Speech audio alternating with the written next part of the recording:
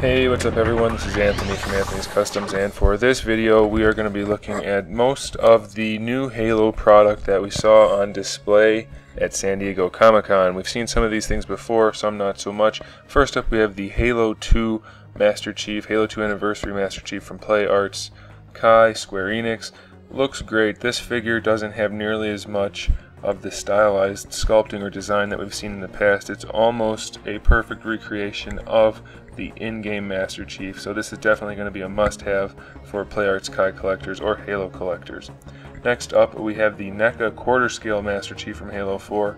This thing looks absolutely amazing. Fully articulated, comes with a good array of accessories, the details all there, and we definitely have the size to make this figure just as cool as it can possibly be.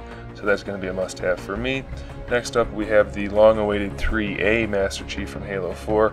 Lights and everything in this thing is just amazingly well detailed. Like I said, there are lights, the articulation's all there. It's basically a 1-6 scale Master Chief for high-end collectors.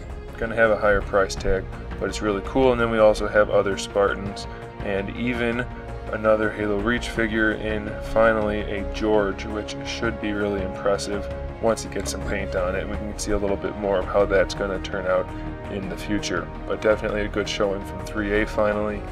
We'll see when the uh, Chief actually comes out. Now we have the Kotobukiya Halo 4 Master Chief statue, which looks awesome. We have lots of display options in the weapons and stances of this guy, so it's just going to be a really nice piece. With a fairly low price point, I think this is a pretty good buy for most collectors. Thanks for watching guys, stay tuned for more figure reviews, custom figures, and other good stuff, and in the meantime, keep collecting.